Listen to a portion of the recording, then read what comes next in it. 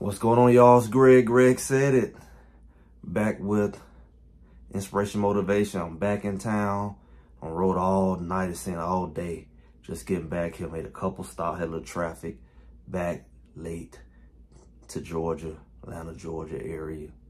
And where do I even start? I did a lot today. Kind of gave y'all a little synopsis of what I saw uh, on our early live. We did an early live nine. Next game is going to be the same thing. We're going to be out there in Boulder. So it's going to be the same situation. So make sure y'all, make sure y'all like, share, subscribe so y'all, you can kind of be on in tune with that. Because it's definitely going to be like a nine o'clock thing again in a couple weeks. But as I said, it's interesting being in the environment. Not the biggest stadiums, decent crowd was there. They bounced a little bit in the beginning of the game. But outside of that, it was no room to bounce. That crowd was dead from the beginning and killed that crowd. I think they had a, a faulty expectation and, and they, they were set up to be in shock. It, they were in shock to see that Colorado, one, could run the ball. The defense was stout and they were like, oh, what do we got ourselves into? It don't look like what we thought. The media sold them a lie.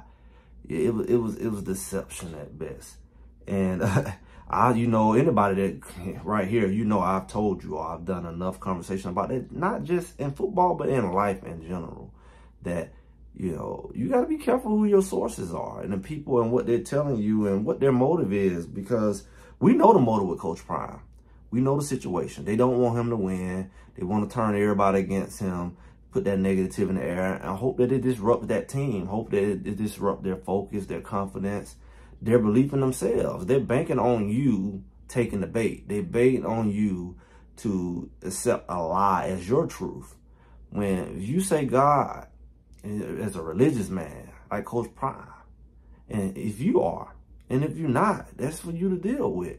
But for someone to say, hey, they were they were called to do such and such a thing, and it didn't quite you know, go that way that they thought it would go. Or that the journey is just different than what you plan. I mean, it's, it's a difficult situation and it takes faith. It definitely takes faith. And what we're looking at is Colorado is overcoming. They're overcoming that, that situation. They're, they're taking a journey where they are proving the doubters wrong and, and showing that indeed, let the truth come to reality. They, they letting the truth come to the place where, you know, you said it. Now everybody got to see it. I'm not looking for your approval. And that's where we are.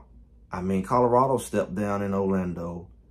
At the TV, I was watching the Big Noon, but I also was watching the local news. And it's just like, they just really had this thing done. Like, they thought it was Alabama or somebody. And it's like, these people really been selling Colorado. Everybody is a superhero when they play Colorado from week to week. And then when they lose, everybody just turn on these people.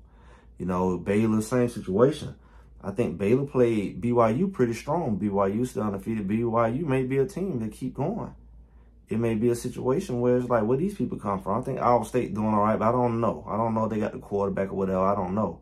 Right now, it's still early. But one thing for sure, they wrote off Colorado early. Colorado lost one game, one and one, and it's oh it's over. They come they lucky they win any more games. It's just you know you didn't do that to everybody else. You didn't give them a chance. I know Kansas State lost a game. They still ranked and they still got a chance. Nobody threw this season away, and it's like you know BYU stopped them, and they really almost lost to Tulane. But it's like when you're looking for negativity and you're looking for this narrative against a Coach Prime, and everybody attached to Coach Prime has got it. Shedeur's got it. He's putting the top quarterback. They put him all the way down. You look at, even Mata has caught it. Like, oh, he can't kick. It's like anybody connected to Coach Prime, not just his team, but him personally, to him. Travis Hunter even started it to catch it. You notice that, oh, they, as much as you do, they try to find something negative to say about him, about can he do it in the pros and how that turned into, you know, Richard Sherman had the situation though. He talked to Prime and apologized. It was like, where's all this negativity come from? Travis Hunter's a bland receiver. They say he can't do it. He got to find some negative to say. Well, he can't do both sides. You don't have to. But if you do, he, he, he can do it. And it's like, it's a lot of negativity. Uh, yet another guy. I think we got another flip. One of the safeties came over. We had a couple of them flip, and you ain't seen nothing yet. And as soon as these people come to Colorado, they lose their stars. There ain't anybody who came to Colorado and then losing no stars. You know, transfers, they everybody turn on them when they come to Colorado. And we act like this normal and we act like this is, is okay. I had people say, yeah, it happened to other schools. You lie. This is very unique. This is, you know, yeah, some people may use stars, but it's not a consecutive pattern like this. Not an obvious pattern. Like, it only don't happen at certain schools. Like, okay, that, that may be the case that it don't happen with them. Maybe they got a little more clout.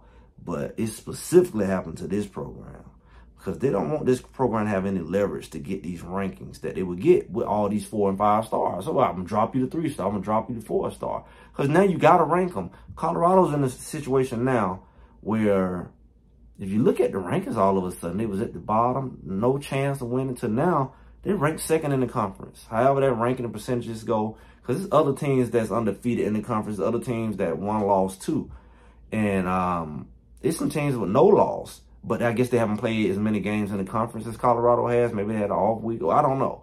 But Colorado right now is right behind BYU in ranking. It's unheard of. They started off the season like out of like, what is it, 15, 16 teams? They might have been number 11 or 12. And it's like, they only had a few teams below them, like Cincinnati. I even think Texas Tech was above them. And yeah, I don't think they saw BYU coming. I don't think they Iowa State. I know they was. I think it was even ranked higher, and no respect was given to Colorado. And yet, it's three teams that's behind Colorado that's currently ranked. Kansas State is behind them, currently ranked because they've lost a conference game. Um, I believe maybe Iowa State is behind them as well, and Utah. And Utah's lost. And that's everybody thought was going to win. They just lost to Arizona. You, they still got to go and play BYU. They still got to play Colorado. It's not going to be pretty. It's not going to be the teams you thought, clearly, right? Especially if you keep going the way it's going. The only team that's ranked conference-wise above Colorado is BYU. Yet, all these teams I named, except Colorado, is ranked in the country in the top 25. BYU is ranked in the top 25. Utah is ranked in the top 25. Iowa State is ranked in the top 25 and Kansas State is ranked in the top 25. And it's like the respect just not gonna come. I didn't expect it. Some people thought they might get in there this week. I knew they're gonna have to beat. They holding on to that last hope. Oh, they lose to Kansas State. Oh, see, that's why we weren't gonna rank it. Oh, yeah, they have to pull it back. They gonna pull it back. You know, but when they do beat Kansas State, it's gonna shake it all up. It's gonna be an earthquake. It's gonna be like the political season. It's just gonna be like, whoa what happened? What's happening? Because they don't want to rank them, but they're going to have to. It's just what kind of credit they don't give them. They're just going to give them a little 23 rank, 22 rank. Because they know the closer they get to that top 12 and they keep winning, they're to get them an argument to get in the playoff. Now, of course, they're to need to win the conference anyway, but I'm just saying, they're not going to get on the rank. We watching teams lose games and play close games, and they still rank. And, and, you know, it's like, oh, well, they were so low they had room to lose, or they lost to a good team. Yet, we're going to watch this thing play out. More and more teams are going to lose games, and you're not going to be able to play that thing. As long as Colorado keep winning, you're not going to be able to play that game with them. This whole they're not good enough game. And you can't say they ain't playing nobody because it's interesting that, yeah, Arizona lost their rank, Oklahoma State lost their rank, but now BYU don't replace them and Iowa State don't replace them. So you still got four teams ranked in the conference. Ain't that beautiful? Now, you don't play all of them. You're only going to play Utah, who's still holding on to theirs because they got beat by Arizona. And um, I don't think they was planning on that. But again, they still got a little backup court, freshman quarterback in. I, I, said it's only a matter of time. And, and even with Rising, he he got hurt. As soon as he got back out there, he still ain't played and and, and rusty and, and, and fragile, really. And he's not the same guy. So, you know, Utah might not be the team people going to be in shock. I don't think Iowa State's going to hang on, but I believe BYU can. So Colorado's in a very good situation, 2-0. There's very few 2-0. It's going to be even fewer 3-0. And the longer they maintain that, they're going to have head-to-head -head over teams they beat, as well as they're going to have being in position to continue to work towards that bowl game. Because you got people already got two losses like Oklahoma State. That they just knew that's going to be back this year. One of those teams. And Utah don't have much room to be already on their second loss while you're still undefeated. And you don't want to lose to certain teams they have head-to-head over. You definitely don't want to lose the teams that you should beat, like the Cincinnati's and the Texas Techs and all of that. But Colorado, once they get through Kansas State, the only people left is going to be Arizona, who's still scrabbling around, even though they got spanked by Kansas State. They're going to be still a threat. But you still going to have Kansas State, Oklahoma State, who who's really out of it. You don't want to take a loss because that's not a good loss. And they won't be a head-to-head because they already don't lost a couple games. If you lose three games, you can forget about being in the conference. Even I mean, some people gonna have one loss, two loss, but three, you pretty much gonna be out. Just how the numbers are playing out right now. So many teams that haven't lost one yet, and everybody don't play each other, but a lot of them do. Like we don't play BYU, we don't play Iowa State, and the way it's working out, that's working like okay, it's not a split division. It's gonna be record based, but Iowa State play everybody else that we're playing. So it's really starting to work out because originally it was looking like everybody that Colorado played was going to be the teams that they was going to have to kind of go up against to be in that championship game when it's looking like the two teams is on the other side that as far as schedule you're not playing them it'd just be nice because you ain't played them. You don't have to play them twice. You'll play them in the championship. Colorado's in a good spot better than what people thought. And the teams that that was supposed to be the rivals for getting into this this thing who came over them like utah arizona they already taking l's. Even Kansas State already taking the L. Go ahead and get them their second L, and you you really in the driver's seat. It's a beautiful thing when they say, I know Bucky put it on this shirt, Respect it will be, we say the disrespected will be respected or shall be respected. And that's where we at. We're at the point now. The media, hee ha ha, taking Colorado lightly. And now their eyes are getting big, especially once this next game. And I told everybody, we're not going to see who Colorado really is until after this, this UCF game, Kansas State. My receipts on the internet. Everybody talking big talk. It's cute talking stats and football, but I, I like to look at this, analyzing the situation. And that's what I do with Greg said it. And I told everyone, this is where the game is going to be. It's, it's going to get real. When we when we beat, I knew we are going to beat UCF. Did we dominate even more? That's gravy. And I said, we beat Kansas State. But I said, we're not going to really see who Colorado really is on defense, offense, things clicking. Don't even expect it. we just going to have to grind our way through it. But the team going to start to jail around this point. And here we are. Colorado's a new team with a new coaching staff. They, they, everybody's getting used to coaching together, playing together. Don't get it twisted.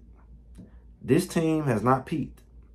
You think that you're seeing something because this is the reality it's way more talented than a lot of these teams. I mean, when you look at it, a lot of these teams are one dimensional. They can really run the ball well. You shut their run down, their offenses. That's what happened to UCF. That's what a lot of these teams are like. That's what Oklahoma State issue is. Quarterback subpar don't really have a lot of receivers. I mean, the run game is strong. You also see that with, um, I think Kansas State is like that. The quarterback's a little more dynamic. Maybe got a couple receivers, but that's about it. Colorado is one team that has kind of overlooked running game was talking about last year, and it's still developing. Got a couple young guys. Lot, all them guys come back next year in the backfield. You got Shedeur at quarterback, and you got so many weapons at receiver. Nobody has that in this conference, and we've been saying that from the beginning. So it's it's something really to be in awe about. It, it really gives you just that umph. Like in life, you gotta have that respect. You gotta have that respect for yourself before you expect you expect people to respect you. You got to put in that work behind the scenes. You got to put in that grind. And all that talk, you got to make it through all that. You got to step over that. And faith goes a long ways. We all got to have that. And if you're not motivated by Colorado, like I've been saying forever, what's it going to motivate you? People jealous, hating on Coach Prime because this is what it's really exposing. With all the odds against you, you still can win. Colorado's winning. And we ain't seen that yet. But I'm just glad what Greg said it. Make sure y'all like, share, and subscribe. I told y'all this is going to be a season, remember. A legendary journey. I'll talk to y'all soon.